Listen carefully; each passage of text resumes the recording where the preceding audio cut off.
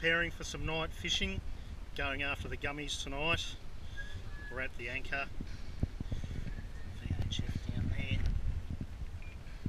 16. Cabin, got the centre infill, but not in at the moment, obviously. Fully carpeted.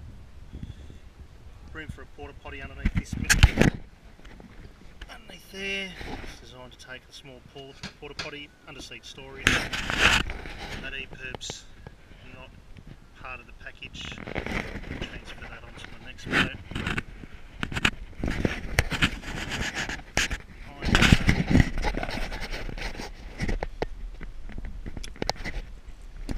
Behind is access to camera in there. But I think you get the gist. Cigarette lighter adapter. If you want to run another lighter, charge your mobile phone or whatever. CD, stereo, MP3 player, USB, SD cards, all that crap. Run DVDs off this if you wanted to put a television in the cabin. Apparently plays DVDs. 27 meg. Drink holders, drink holders. Auto bilge pump with manual facility as well. Just leave that on auto. Bait tank aerator, electric anchor winch with free fall, anchor light, nav lights, uh, interior light. That's actually the yeah, that's the interior light. The aerator is for the squid light. I'll put that on later when it gets dark. They're the interior LEDs there and there. They light up the boat reasonably well at night. Blower.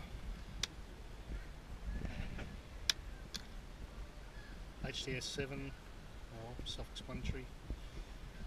Full array of gauges.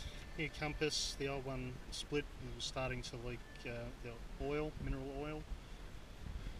Bimini, got the front um, clears and side curtains, and I've got an extended sunbrella that comes zips in here and comes out the back about another metre or so. So in summer you get some really good shade.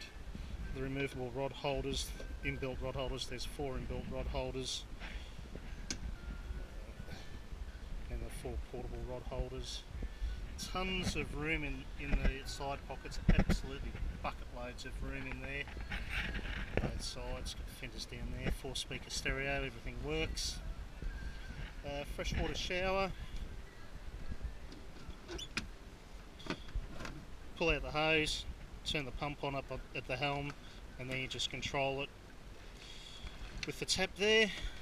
No, it's not heated, it's just fresh water. Although, having said that, on a warm day, she, the water does actually warm up quite nicely because that's the water tank there. This section here is the stainless steel water tank, which holds about 45 litres. Uh, I'm standing on the fuel tank, and that fuel tank's 150 litres. Live bait tank in here, live bait well, got some dead squid. Clean them up later.